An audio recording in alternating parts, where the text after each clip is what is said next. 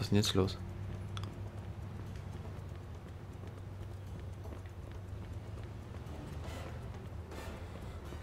Hä, wie jetzt? Soll ich den jetzt warnen oder was?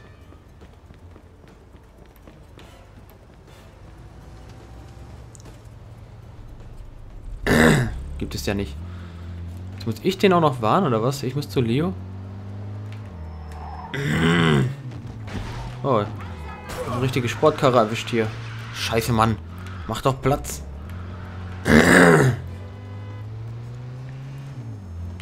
Ey, wollt ihr mich verarschen?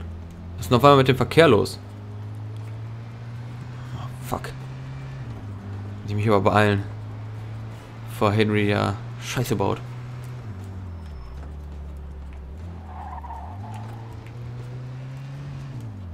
Die Karre, hier hat ordentlich, ordentlich Dampf unterm Hintern. Was ist das nochmal für eine Karre?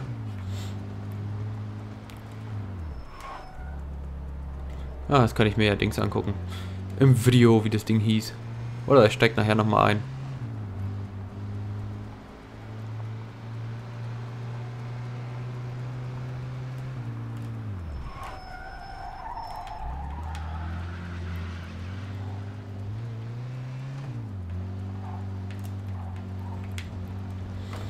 Jetzt aber schnell. Wir haben nicht mehr allzu viel Zeit.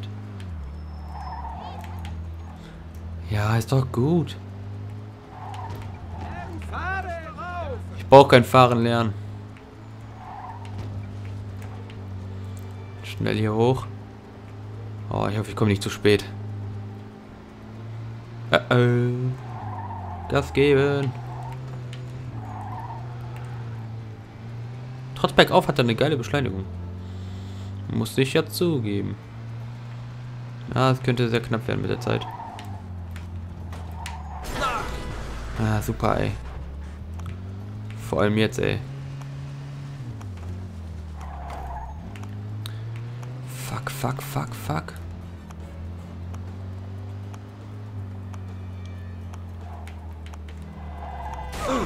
Nein! Fuck, ich bin doch schon fast da. Nein! Fuck you! Was ist das denn für eine Scheiße? Ey, ich stand davor.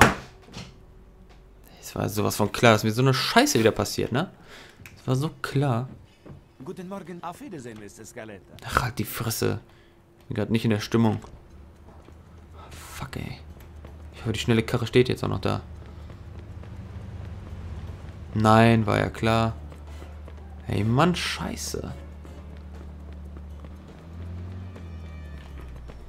Ich jetzt echt so eine Dreckskarre nehmen?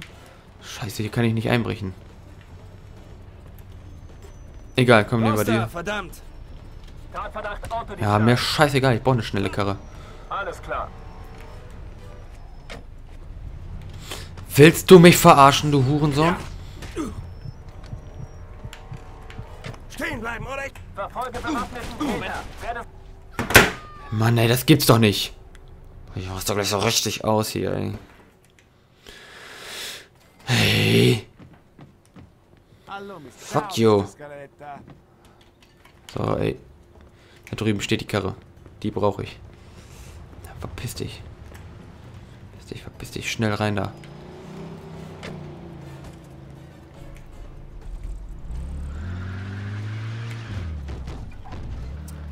Okay, fahren wir halt da lang.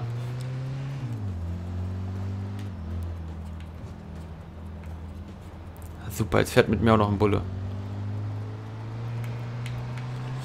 Wechseln wir auf die andere Straßenseite, ist ein bisschen sicherer.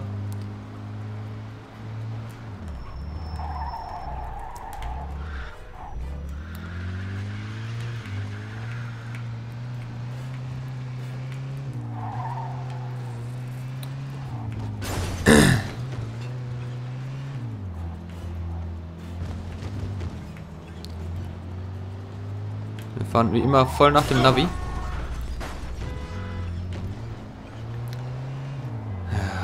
Ey. Schnell, schnell, schnell, schnell, schnell. Das muss doch machbar sein. Vor allem mit einer Sportkarre. Ich stelle mir mal vor, ich würde ein ganz normales scheiße Auto nehmen.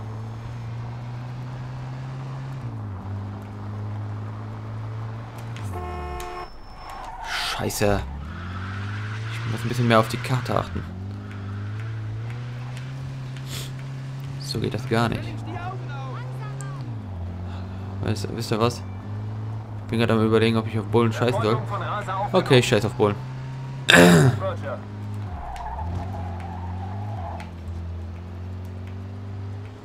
Ich glaube, diesmal war einiges an mehr Zeit.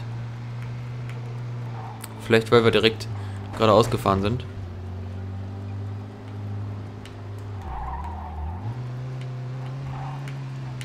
So, Bullen abgehangen. Jetzt darf es gleich nicht so ein Assi von vorne rein. Genau vor der Haustür, vor dem Tor. Ja, war klar, dass das wieder passiert. Es muss ja passieren. Es muss ja passieren. Ah. Ich drücke schon den Controller ein, ey. Jetzt sowas macht mich voll aggressiv, ey. Sorry, Leute. Aber das geht gar nicht. Ausgerechnet in solchen Situationen immer wieder.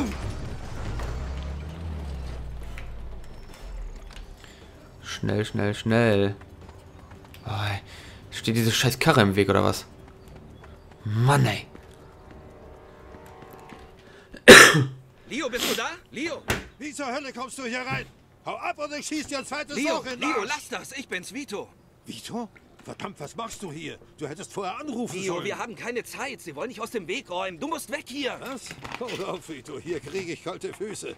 Willst du was trinken? Ob ich einen Drink will? Sag, hast du sie noch alle? Okay, was ist los? Hör zu, Falcone will dich ausknipsen. Die Jungs sind gleich hier, du musst abhauen.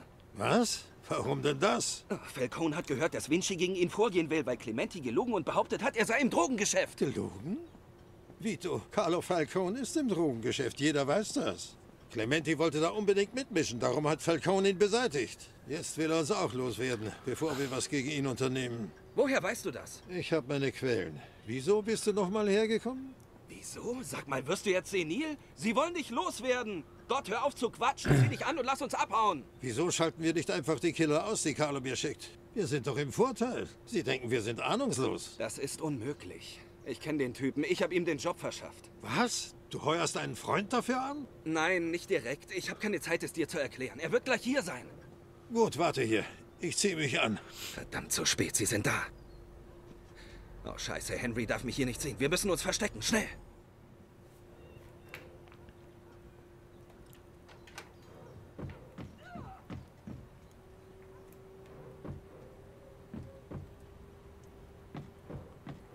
Vielleicht passen wir hier rein. Bist du irre?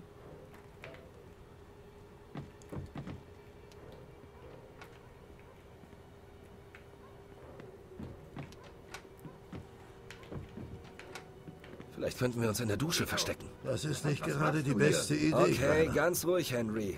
Nimm die Waffe runter und schick die Jungs weg. Ich erkläre dir alles. Jungs, ihr wartet draußen. Wenn ich in ein paar Minuten nicht rauskomme, schaut mal nach. Ach du Scheiße. Hinsetzen. Was läuft hier, verdammt? Hör zu, Henry. Leo ist ein Freund von mir, okay? Er hat mir im Gefängnis praktisch das Leben gerettet. Ohne ihn wäre ich nicht in der Familie. Ich wusste nicht, dass Eddie ihn loswerden will. Ich musste ihn warnen. Das musst du verstehen. Ja, aber du musst verstehen, dass ich mir keine Fehler leisten kann. Wenn ich Leo laufen lasse, denkt Falcone, ich habe ihn absichtlich beschissen und Ja. legt mit... Henry, ich bin dein Freund. Ich würde dasselbe für dich tun. Das hat nichts mit Freundschaft zu tun, Vito. Hier geht's ums Geschäft. Und wenn ich versage, bin ich fällig. Ich kann ihn nicht gehen lassen. Ich habe einen Job angenommen und muss ihn zu Ende bringen. Wenn du nicht zusehen willst, kannst du gehen. Keiner erfährt, dass du hier warst. Also keine Sorge. Hör zu. Leo hat mir erzählt, dass das alles nur wegen Falcones Drogengeschäften passiert. Er verstößt gegen die Regeln und will alle Mitwisser beseitigen. Na und? Die einzigen Menschen, die diese Regeln nicht brechen, sind Frank Vinci und Leo. Und die haben mich nicht auf ihrer Lohnliste. Vito, vielen Dank für alles. Aber geh jetzt besser. Ich hatte ein langes, gutes Leben. Riskiere nicht Kopf und Kragen, nur um meinem alten Mann noch ein paar Jährchen zu verschaffen. Nein, Leo. Es muss einen Ausweg geben. Vito, geh. Sorry, Vito. Oh, Keiner Mann. erfährt, dass du hier warst.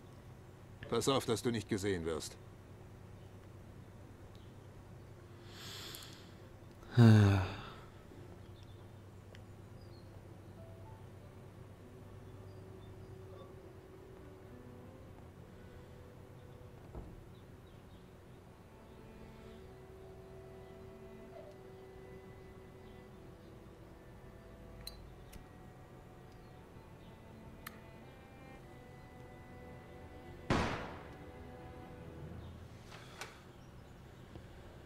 Schuldest mir einen Gefallen, Kumpel.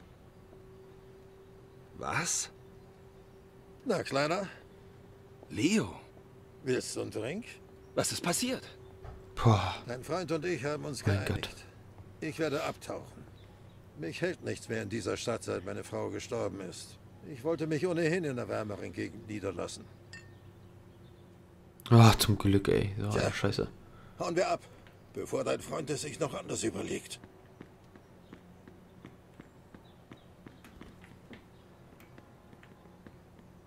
Wie kommen wir denn hier aus der Scheißbude raus?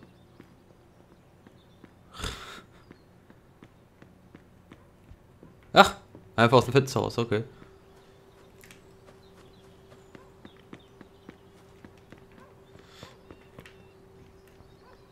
Oh, jetzt haben wir die Wahl. Hm. Nehmen wir, nehmen wir den hier? Oder den hier? Ach komm, nehmen wir den schönen Sportwagen. Okay, Vito. Würdest du mich jetzt zum Bahnhof bringen?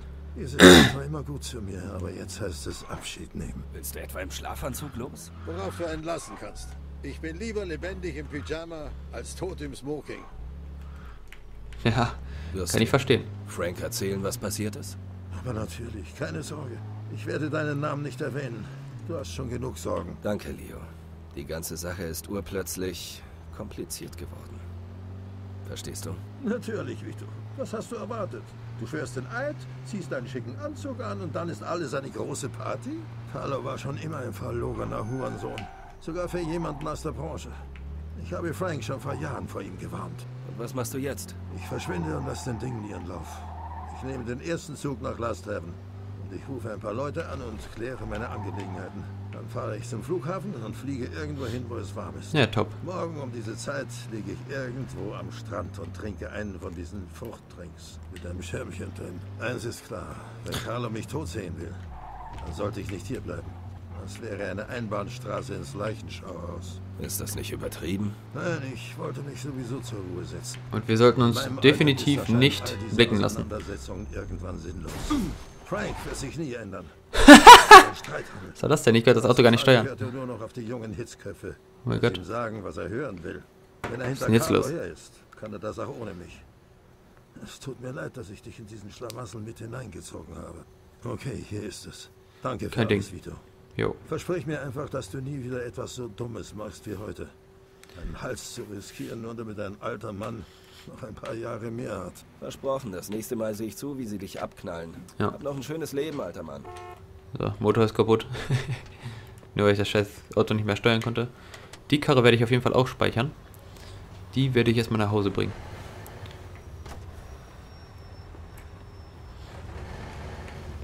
Und danach können wir ja mal gucken. In seinem Haus. Die oben sind wir, glaube ich, hochgefahren, ne? Wo war denn das? Irgendwo hier oben war sein Haus.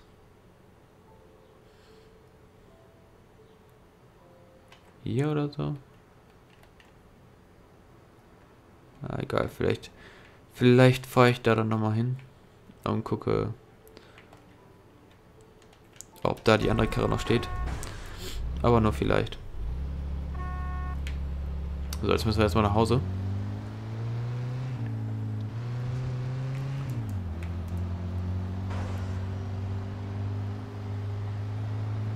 Der Motor pfeift. Warum nur?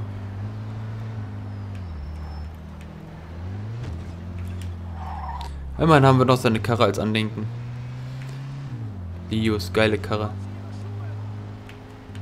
Die haben auch alle solche Sportwagen, ne? Wow.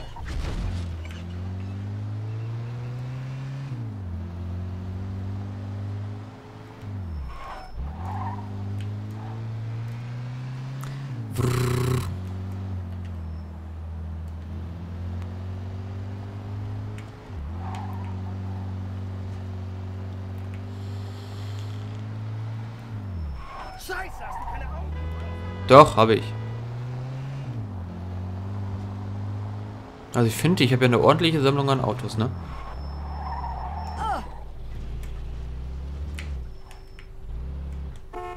Dude. So, jetzt will ich das nochmal reparieren.